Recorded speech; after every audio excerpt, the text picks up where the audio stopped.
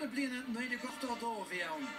bhí siamas a an míse agus rámatú le amach ar a idir agus Martin Furlong. Well, Kerry, you know, they were a bit different than other teams because missing a er penalty for them wouldn't affect them as much as it would have affected us, you know. But saving the penalty was a big thing for us because if they, they get the penalty, um, God only knows, but um, they didn't. And that's the main thing. Kerry took the knock and kept coming, and they got four points then in an 11 minute burst, and that really was it.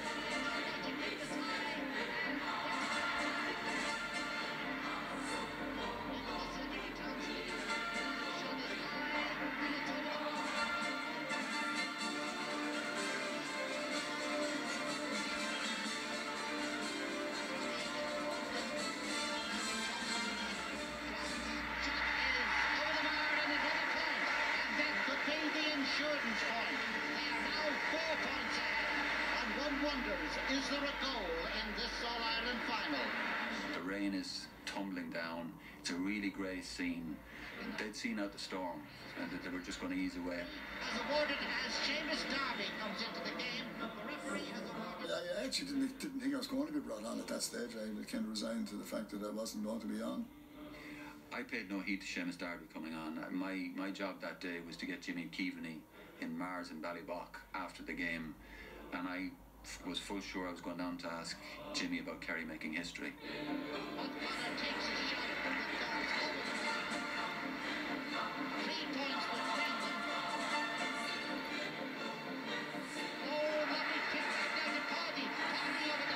A sa bhí cií an agrúhéin chun ar bh chosint.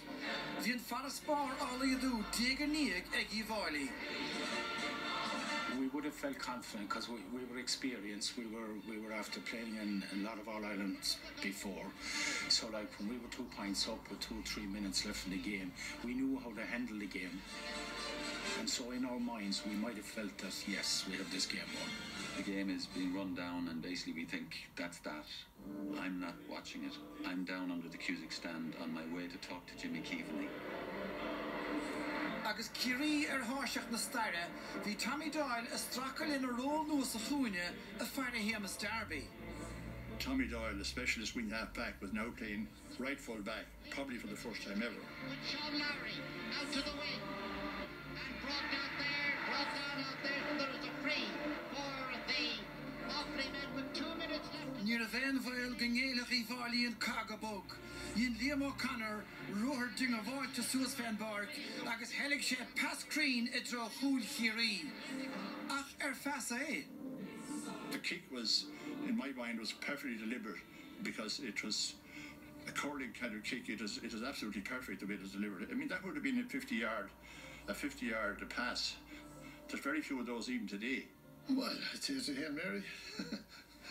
I'd say, well, I'd say it's just pure luck. But sure, isn't luck everything about, you know? Léim sémas Darby os ciún Tommy Doyle agus raf sin líróid gus nasta. Nu an mar sin a hála. Was it a foul? I think there was a little nudge. I think, yeah, but it's no more than any corner forward would do. Tommy's six foot three or whatever, and he's big man. And I was caught behind him. And um, I'm, I'm trying to get out, actually, to try and get in front. But at the last minute, I realised Tommy's gone too, I thought he'd gone too far. And Tommy Doyle would tell you that he could feel the wind of the ball on his fingertips as he as he tried to get it, but he'd been given a little nudge, as every good, decent, smart corner forward will do.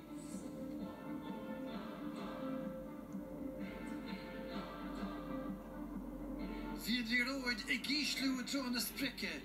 Kick uife, nar bheit? Do I think he was going for a goal? I don't know. I don't know.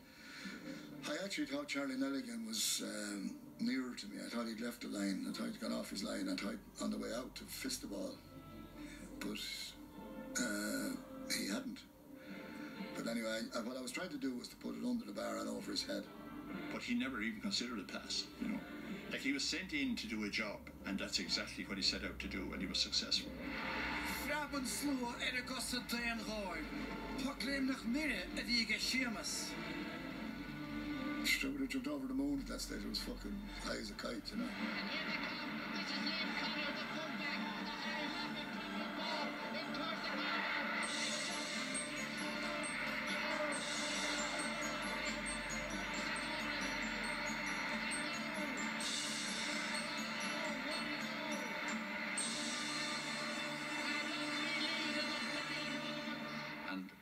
Actually went running back into the Cusack stand because I heard the roar and I knew it wasn't the Kerry roar. And I had to ask someone what happened. And all I was told was Darby, Darby, Darby got the goal. And here's Liam Connor, who's come up from fullback. He sends a high ball in towards the goal now. It's fielded in there, and the ball is buried into the back of the net by the sub who came on.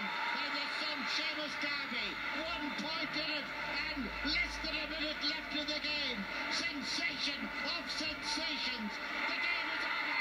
Derby are champions. Oh dear, what a game! What a There's just this sense of disbelief. And it's the surreal sense of did that really happen? is one of the most sensational finals I have ever seen. We went up in the ambassador that evening, and uh, Jesus, talk about health and safety. Was there was, there was been fucking fifty thousand. The place was black, and I remember at one stage being thrown up against the ceiling, my face hitting the ceiling. And I, I just couldn't get down. I couldn't. I got no control. I just could do nothing. Dinnech Derby a chamóra i gíríú ach ní an léna céannach an maúnis an gatainine. Ferdíalte an tíléine 5 in a row in a mask. And this fella came over to me, you know, and he says to me, um, he said, "You fucking cost me a fortune." He said, At every caravan." He said, "In Ballybunion, stuffed with jerseys, carry five in a row."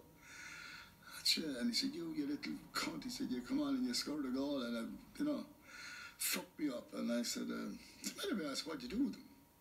He said, "I will tell you. I put R.I.P. at the bottom of them, and I headed for Tullamore, and I sold most of them on Monday night." And there goes the Ware Cup high in the hands of man who turned this whole game around from defeat into victory for Offaly. Uh, how does it feel today? Well, it feels absolutely great. I, I, I still can't really believe that we've won, but uh, yeah, I'm absolutely thrilled. In 72, I would have been a young bloke and I wasn't the one people wanted to see. And then in 82, uh, I would have been one of the lads that would be invited here, there, and everywhere, you know. I said to myself, well, I'm going to enjoy it anyway, and I did.